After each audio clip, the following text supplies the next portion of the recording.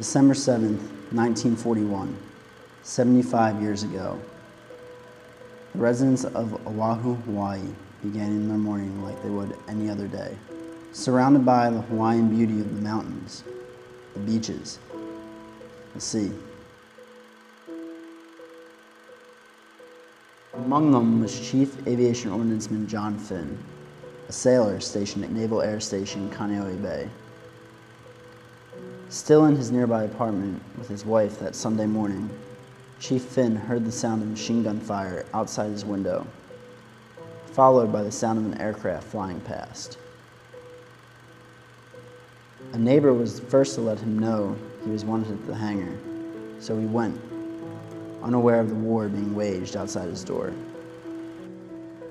The Japanese had coordinated attack on U.S. forces throughout the island and they were targeting the hangars and planes on Kaneohe Bay, the first strike of the raid. Many of the planes had already been hit when Chief Finn arrived to the hangar, smoke billowing out of their burning cockpits as they sat neatly lined up along the hangar.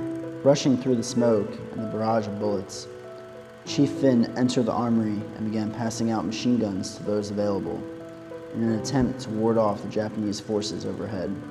He too joined the fight, manning a 50 caliber machine gun situated on a makeshift tripod, which he carried to an exposed area of the runway and began firing. Despite being peppered by shrapnel, there he remained for almost two hours.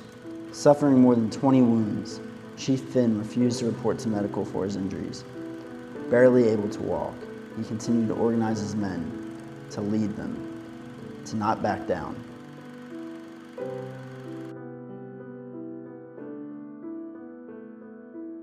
Chief Finn was one of the 15 individuals to receive the Medal of Honor for his actions that day. He personified the Navy's core values of honor, courage, and commitment.